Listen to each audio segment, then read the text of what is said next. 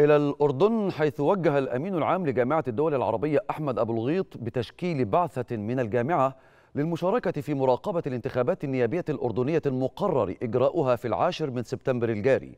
وذكرت الأمانة العامة للجامعة أن البعثة ستقوم خلال الفترة المقبلة بالالتقاء بمختلف الأطراف المعنية بالانتخابات وعلى رأسها الهيئة المستقلة للانتخابات وستصدر بيانها التمهيدي المتضمن ملاحظاتها الأولية حول عملية المراقبة كما ستصدر تقريرها النهائي الذي سيتم رفعه إلى الجامعة. والذي سيتناول ملاحظاتها التفصيلية حول الانتخابات والتوصيات التي قد تسهم في تطوير وتحسين الاستحقاقات الانتخابية المستقبلية. تستضيف ما يقدر ب 41